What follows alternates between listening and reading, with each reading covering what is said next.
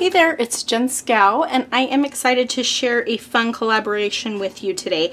So, I have collaborated with Persnickety Prints to bring you this video, and I wanted to show you these awesome new prints that they have that are you can print a photo strip and they're not on photo paper they are on like a matte finish uh, paper and it's very durable and sturdy. I actually had this one in my purse uh, to show my sister for a while and it still looks great. So just as a little FYI there. But um, what I'm going to do is give you a little sneak preview of some stamps I have coming to my shop on uh, August 1st and you here is a chance for you to win it before you buy it. So if you're interested in winning um, a prize from me as well as from Persnickety Prints who if you've watched my channel for a while you know I if I send my prints out anywhere it's always to Persnickety Prints. They have great quality um, and I'm actually obsessed with these photo strips. I used a bunch of them in my recent cruise album and I just love them. But I wanted to show you how you can, um, I, you can see I left a few spaces open on these photo strips and that's because I want to stamp in those sections or journal. And uh, there is an option on their website for you to actually put, they have like some text uh, you can you can type text there or they have some cute little graphics that you can drop in if you wanted to as well. So that's definitely an option if you're not a stamper.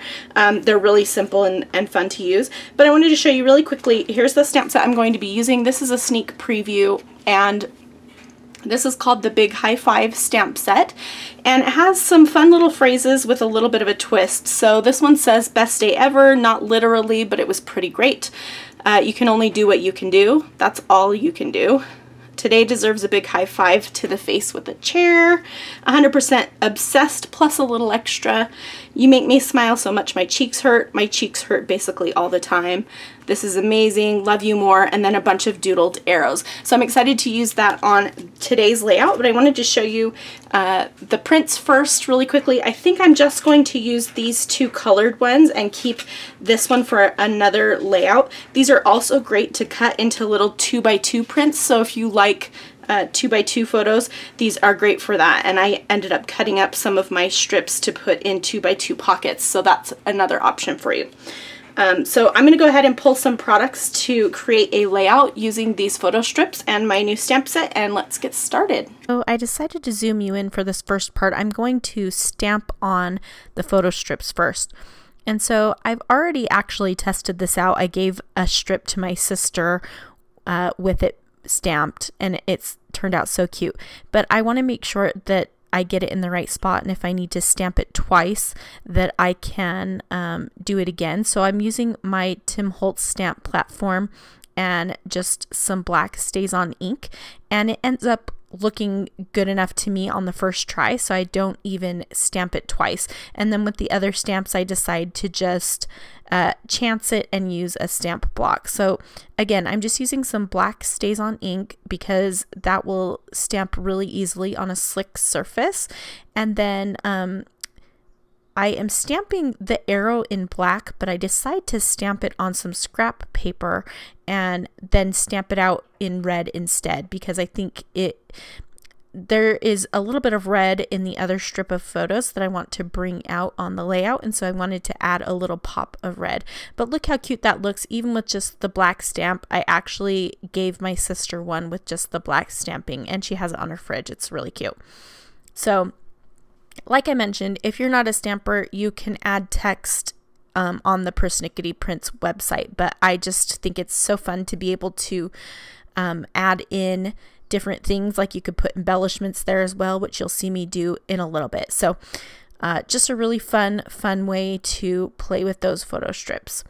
I decide to pull out the Shimelle Sparkle City collection to create this and it has a lot of clouds and blues that I wanted to play with and I've had this collection for a while and haven't had a chance to really get to play with it yet. So right now I've got a few papers layered up on behind my photos with the 6x8 paper pad and I'm trying to decide what I want to stick in that other little space on the photo strip on the left. And I really love the idea of using this little globe icon and doing something like Welcome to the World. These are photos of my new nephew and uh, just so so cute and he spent about a week in the NICU and so there's a lot of pictures of him with these breathing tubes um, all up in his nose and stuff so I wanted to just say hey this is our newest little friend and welcome to the world so uh, that's what I decide to make my title I'm using some alphabet stickers from the little sticker book from Shimelle and then the um, the thickers are also from her collection.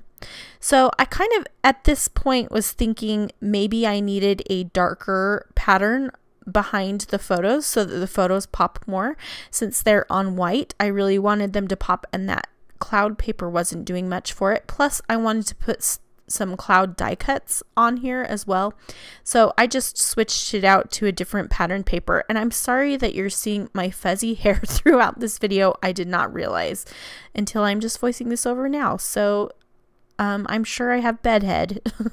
uh, anyway, I am stamping using some close to my heart poppy ink. They actually don't carry that color anymore, but I have linked to a similar color, which is called Candy Apple, in the video description below. I've linked to all available products there actually. And uh, so you can check that out if you're interested. But I really like Close to My Heart's inks. And um, I love the way that these stamps turned out. So I love the phrases and I'm glad that I was able to use that on the photos, but or on the photo strip, but now I'm going to add in that pop of red with the stamping. So I did the arrow. I'm going to do this is so awesome or amazing. And then I will add one more little stamp in red to kind of balance everything out. So there were some red stickers in that collection, but they weren't quite the right red that I had wanted. And so I pull a bunch out, but I don't end up using them. I am also pulling out some of the holographic foil stickers because there's holographic foil on my title. And so I'm pulling out a bunch of the stars and I'm also going to pull out some yellow stars. So it's hard to tell, but there are little tiny yellow stars on that blue paper uh, behind the photos. And so I decide to echo that with just a few tiny stars on uh, in, the embellishment. So I'm just going to glue down these papers now. They are not cut perfectly. I don't care about that because I am going to kind of rough up the edges a little bit and so then it won't matter as much. I decided to pop up one of the photo strips. So I'm going to kind of overlap them just a little bit. I don't want to cover up the photos or anything, but um, I'm going to overlap them slightly and I'm just using fun foam on the back of one of the strips. And I think I mentioned this in the beginning of the video, but uh, these, I love the, I guess this is a recycled press print or something for the paper on these prints. And they just, I don't know, I like, I really like the quality of them. They're really nice. If you haven't tried them out, I really encourage you to do so. You could definitely print photos like this at home, but it you would not get the same quality or the same effect. So I definitely plan to print lots more because I'm obsessed with them. Even if you wanted to cut them up into little two by two photos, they'll have a nice white border. It's just you can't lose. So anyway, I just uh, was sticking down my title there. I'm popping up This is So Amazing. And if you see red on my arm, that is not like a scrape or anything. I for some reason I got red ink all over my arm while I was making this video. I was not, I don't know, something was going on with me. Anyway, I'm going to glue down the clouds and I'm popping up one of the clouds. And now I'm going to think about uh, adding another pop of that red. So I'm thinking about what I might want to add. I thought about another arrow, but I decide instead to use the solid circle that says love you more. And it's just really cute. I decided to use a one inch circle punch. Now the circle is wonky on the stamp set. So the one inch circle doesn't punch it out perfectly, but I don't care. I think it looks fine. It's good enough. And so I'm just going to add that up at the top. So now I've got a triangle of the red, kind of drawing your eye through the photos and through the title. And I'm using my little iridescent stars and just kind of uh, gathering those near the red stamping. So I seriously, I'm obsessed with with this layout. I'm obsessed with these photos. I think they're so cute. I love these photo strips. I promise you that I would not I I would not be singing their praises so much uh, if I didn't love them. Um, anyway, so I decide to rough up the edges of this, and I realize that the underneath side of this cloud paper is yellow and so when I like it when it's folded up just a tiny bit it gives me just another little pop of yellow so I'm roughing them up extra heavily and folding over the corner on some of them. I kind of felt like at this point that I needed just one more little embellishment of some sort, and also that I needed to uh, map my entire layout. And so I decided to pull out this patterned paper. Um, I do have the the project pad that you can get at Joann, but I also have some of the 12 by 12 papers. And so I'm using one of the 12 by 12 papers, which I gutted because I want to use the other side of it. It has a really cute text print. And so um, I'm just going to use this to uh, frame my layout. And then I also went to oh, I don't think I did it on my typewriter. I actually typed up my journaling on the computer and printed it out, and now I am cutting it up with my new Tonic Guillotine trimmer, which I love. It is so smooth and so great. Um, my daughter broke my other, my We Are Memory Keepers one, which I liked, um, but I just, I love this one. So Anyway, I'm just going to trim down the journaling strips so that there's not extra space on the sides. And I'm just going to kind of tuck it in around um, underneath the title and next to This is So Amazing. And I at first I thought I was going to just keep it all to the left side of that blue patterned paper but I decide afterward that I like it better um, overlapping. So I decide to overlap it, and now I am stamping the day he was born, the date he was born, and the time he was born.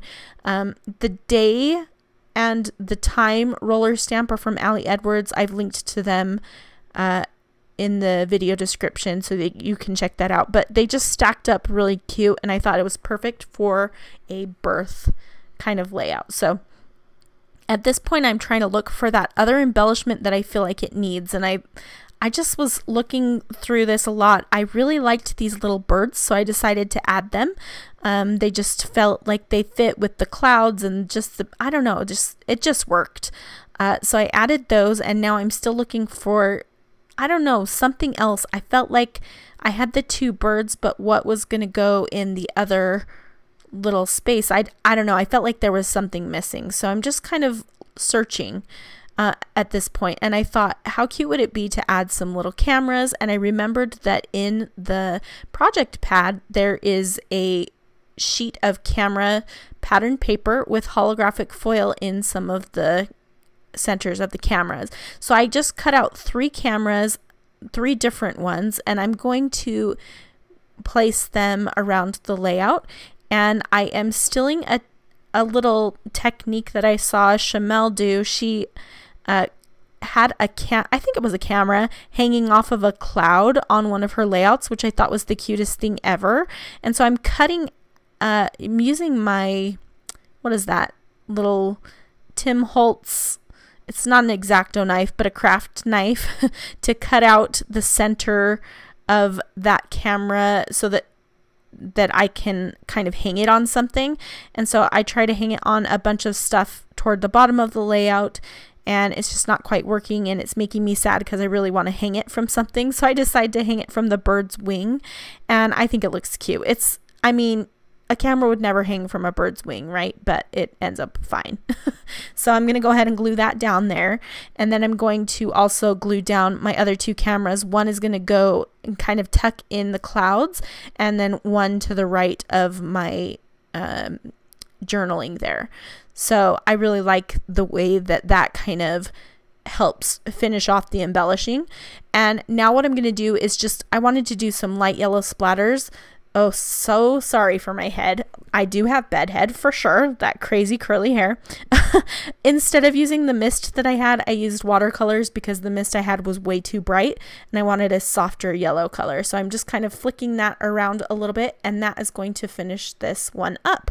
So I have some close-up photos coming up and be sure to check the video description for details about how you can win this stamp set before you can actually buy it, and also how you can win a $25 gift certificate to persnicketyprints.com, my favorite online photo processor. So, uh, here are a couple other videos that you might enjoy. Again, don't forget to head over to my blog at craftyjenschow.com, um, and I will have a blog post there about this and the giveaway as well.